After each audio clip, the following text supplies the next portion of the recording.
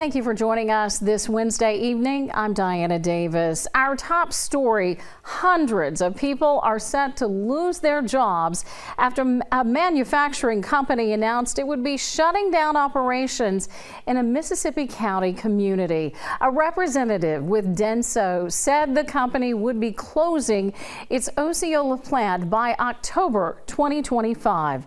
They explained that evolving business needs have made it difficult for the team team to efficiently operate the site, so they will begin a phased relocation to other Denso facilities. The company said machinery movement is expected to begin in the spring.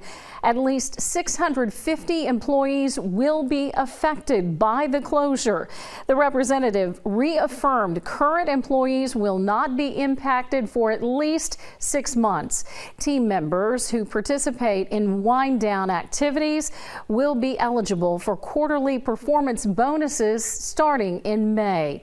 The company said they would also help get employees to open positions at other Denso facilities in the country. Help would also be offered to those not wanting to be employed by Denso. We will have reactions on the closure tonight at 10. You can read more about this story on the K8 News app.